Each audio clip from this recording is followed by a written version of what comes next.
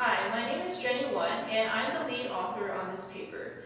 Dr. Donald Glass and I wrote this review article on novel therapeutic approaches to xeroderma pigmentosum because while I was reading reviews on patients with this disease, I noted that there were very detailed reviews on the mechanisms and the phenotypes associated with the disease, but in comparison very little reserved for therapies or research into potential future therapies for xeroderma pigmentosum.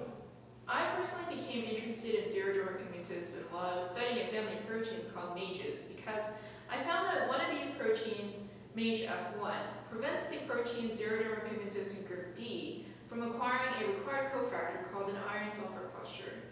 This is how I started looking into xeroderma pigmentosum and how I eventually approached the senior author, Dr. Glass, with the proposal to write this review. And the idea was to provide a simplified overview of the underlying DNA repair deficits found in xeroderma pigmentosum for those that are less familiar with the pathway, and provide an overview of a few novel approaches to therapies to stimulate more interest in those that may have not initially considered this field, as we felt xeroderma pigmentosum might benefit from new perspectives. In order to find the research articles mentioned in the review, PubMed was initially queried for articles published within the past five years containing the following words or combinations of words, xeroderma pigmentosum, XP, XPA through XPG, XPV, and therapy. Additional older articles that supported the recent findings were then later included through references or additional PubMed searches.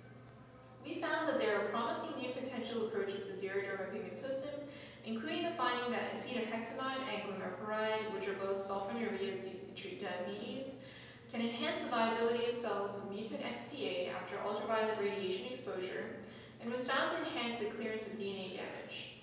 In addition, nicotinamide, which is a supplement that has been shown to decrease the incidence of non-melanoma skin cancer in general dermatology patients, was found to attenuate the effects of ultraviolet radiation in XPD-CS cells.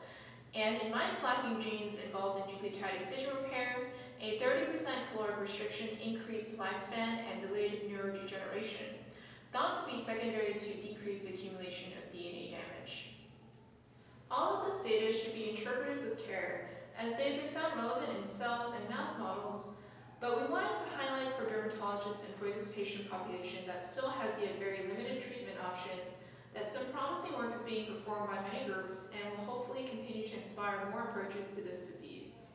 We hope that our small contribution will spark more fresh perspectives between clinicians and scientists to aid in the search for novel solutions.